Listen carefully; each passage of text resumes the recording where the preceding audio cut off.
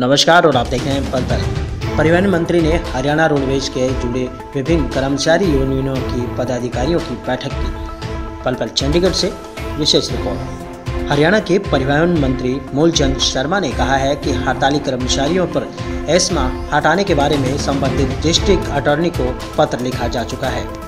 साथ ही वे HDFC व आई corporation व भारतीय स्टेट बैंक को अपना सैलरी अकाउंट खुलवा करके 35 लाख रुपए तक की दुर्घटना बीमा सुविधा का लाभ उठा सकते हैं।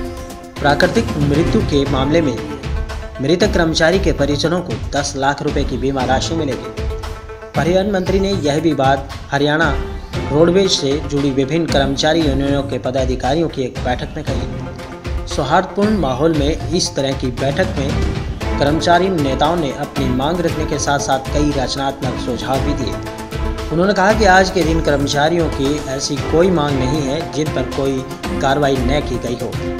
उन्होंने कहा कि कोविड 19 और महामारी ने पूरी तरह से दुनिया को हिलाकर रख दिया है और ऐसा कोई क्षेत्र नहीं है जिस पर इसका असर न पड़ा हो।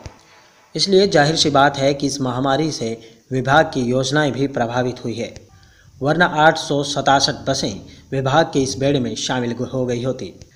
परिवहन मंत्री ने कहा कि जहाँ तक बेड़े में नई बसें शामिल करने की बात है तो इसमें, इस बारे में हमें इलेक्ट्रिक और सीएनजी बसों पर विचार करना होगा। भविष्य में जब भी नई बसें खरीदी जाएँगी, उनका वार्षिक रखरखाव अनुबंध आधार पर सुनिश्चित किया जाएगा। फिर उचित कर्मचारियों के प्रशिक्षण की भी व्यवस्था की जाएगी। उन्होंने कहा कि कर्मचारी विभाग की जान है और उनके रहते ऐसा कोई भी काम नहीं किया जाएगा जिससे विभाग या कर्मचारियों के हित प्रभावित होते हैं। उन्होंने कहा कि दिसंबर तक लगभग 250 पदोन्नतियाँ और हो जाएँगी। आप देख रहे हैं पर्पल की एक खास रिपोर्ट।